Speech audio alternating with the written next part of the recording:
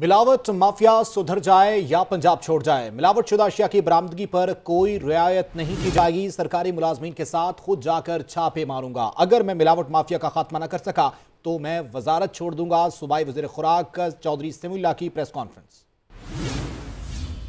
نہیں کرتے، system metre کرتا ہے کہ سسٹم ایسا ہونا چاہیے۔ انشاءاللہ ہم اس سسٹم کو بہتر اور فعال کریں گے۔ اور یہاں آج اگر سمی اللہ نہیں ہوگا تو یہ نہ ہو کہ ملاوٹ پھر شروع ہے ملاوٹ سے پاک ایک سسٹم لے کے جائیں گے ان شاء اللہ تعالیٰ۔ میرے لیے اقتدار اتنا اہم نہیں ہے جتنا اہم عوام کی خدمت ہے۔ جتنا اہم عوام کو ملاوٹ سے پاک اشیاء خرد و نوش کی فراہمی ہے۔ میں اس کے اوپر فوکس ہے میرا۔ میں نے یہ کرنا ہے، یہ میرا پیشن ہے۔ عمران خان کا یہ ویژن ہے۔